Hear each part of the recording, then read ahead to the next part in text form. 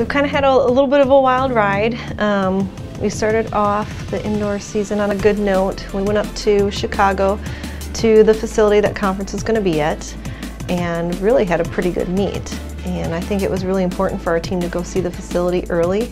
So now going back up there at the end of this month, we're, we're prepared. But we've had some really good things happen.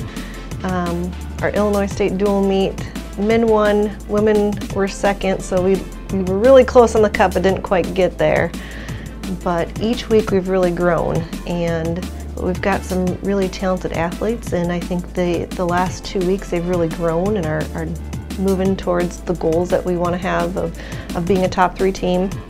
Um, the men, we, we do have some really good depth and some very talented athletes, so they're really, they're going to have a big battle this weekend.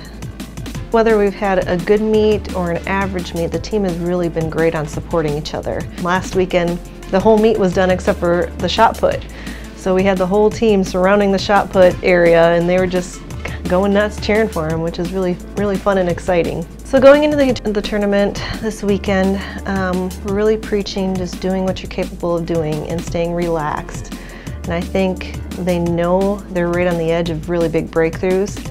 And sometimes you try a little bit too hard. So that's one thing we've been really working on this last week is staying calm, approaching the meet like it's something you do every day and be confident, run smooth, compete hard. That's just take care of the little things.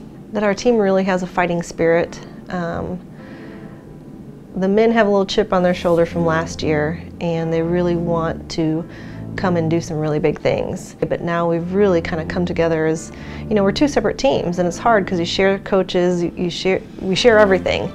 Um, and the teams are kind of at two different spots. But I think in the last couple of weeks we've really learned to embrace the, the things that we have been working on and moving in a positive direction.